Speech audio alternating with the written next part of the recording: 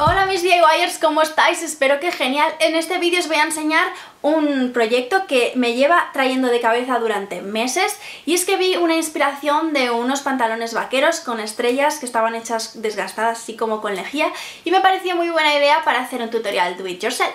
Así que empecé a investigar a raíz de la sugerencia de una lectora que me, me habló de una especie de bolígrafo de lejía que se puede encontrar en Estados Unidos, en México y en bastantes países, pero que en España no se vende y es un boli que contiene un gel de lejía que es bastante espeso. En teoría es para quitar manchas pequeñas de la ropa, pero mucha gente en internet lo utiliza para hacer dibujos, porque mm, al ser un gel tan espeso puedes hacer una línea y te queda en la ropa totalmente definida, no se te expande por el tejido y te queda todo emborronado. Así que es realmente fantástico para exprimir tu creatividad y empecé a buscar por internet cómo podía conseguirlo. Bueno, si me seguís por Twitter, por el blog que hablé de este tema hace unas semanas, eh, yo tuve una gran, grandísima decepción con lo que me llegó de eBay porque no tenía nada que ver con lo que había visto en internet sobre este boli.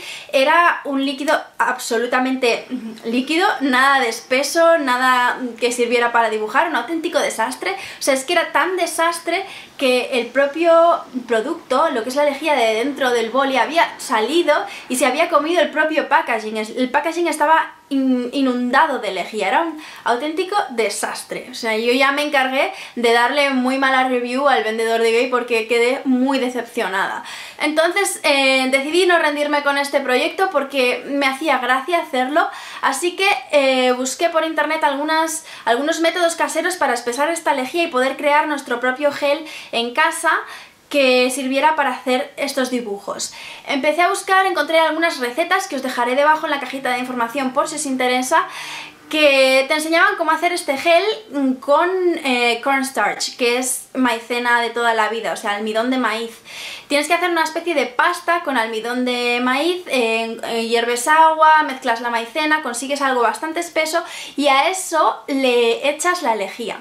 ¿Qué pasa? Que este gel hecho en casa eh, no tiene una concentración de lejía muy alta, porque obviamente si le echaras mucha lejía se te quedaría muy líquido y no te serviría ya para dibujar. Y lo probé eh, sobre tela, como tela de camiseta negra, y en ese caso sí que me funcionó bastante bien.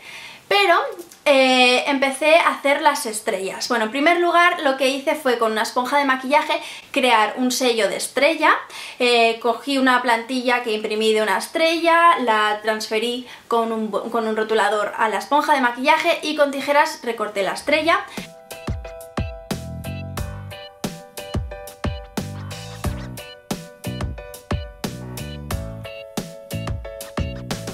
Con los sobrantes de los laterales de la estrella creé una especie de mango en el reverso de la estrella para, para coger el, sello y que me fuera más cómodo a la hora de hacer la estampación.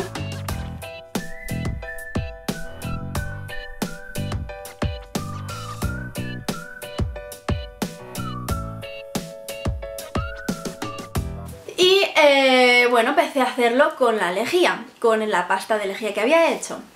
¿Qué pasa? Que al ser un líquido tan viscoso y tan espeso, es muy muy muy difícil que los bordes nos queden definidos, que las estrellas nos queden bonitas y tal.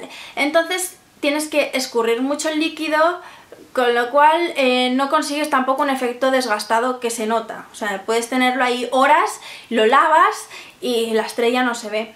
Entonces me quedaba la opción única de eh, repasarlo todo con un pincel, ir añadiendo líquido y bueno, ya sabéis que yo tengo una paciencia inmensa con los proyectos, con los DIYs, que muchos me decís es que preferiría comprarlo, pero bueno, en este caso realmente sí que me vi muy agobiada de pensar de tengo que llenar unos pantalones de esto con estrellas, repasarlas todas con lejía, esperar a que se seque, lavarlo, eh, que no me queden todo lo mm, profundas, o sea, todo lo definidas que yo quiero, que me queden que casi no se van a ver.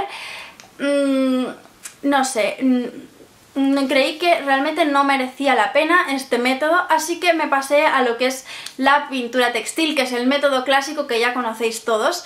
Y lo que hice para imitar un poco este efecto de lejía es eh, aplicar con la esponja lo que es la pintura y escurrirla mucho, mucho, mucho, que no quedara casi pintura. Entonces aplicarla suavemente sobre el, pantalón, también teniendo en cuenta que los bordes tenían que quedar definidos y en algún caso pues que no me quedaba el borde bien bien definido pues simplemente lo podía repasar un poco con un pincel pero ya no era el trabajo arduo de antes. Si intentas ir a por un efecto muy opaco de la pintura, que te queden las estrellas súper blancas, ¿qué pasa? Que se te van a notar muchísimo más las imperfecciones. En cambio, si buscas un efecto más difuminado, más imitando el estilo de la lejía, para mi gusto queda muchísimo más bonito.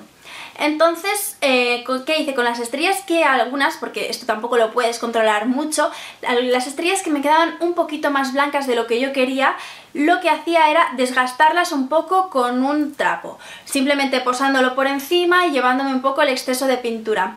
Y el resto de las instrucciones del DIY os lo podéis imaginar, simplemente hay que seguir añadiendo estrellas con el sello, escurriendo muy muy bien la pintura, desgastándolo un poco con un trapo si hace falta o incluso con un trapo húmedo desde fuera hacia adentro y ya está. Una vez descubierto el método, que a mí me ha costado bastante tiempo, yo creo que hacer todo el pantalón con estrellas no me llevó más de una hora y realmente estoy bastante contenta con el resultado. Espero que os haya gustado a vosotros también, que lo pongáis en práctica, sobre todo que me enviéis, como siempre os digo, fotos de vuestras versiones, que lo estoy deseando, que siempre eh, que me mandáis una, una, versión de vuestro proyecto, yo lo publico en mi blog, en los posts de DIYs de los seguidores. Y bueno, recordad que yo estoy subiendo vídeos de Do It Yourself cada semana, que siempre estoy con ideas nuevas, así que no olvidéis suscribiros para no perderos nada de lo que está por llegar. Nos vemos muy pronto con un nuevo vídeo. ¡Chao!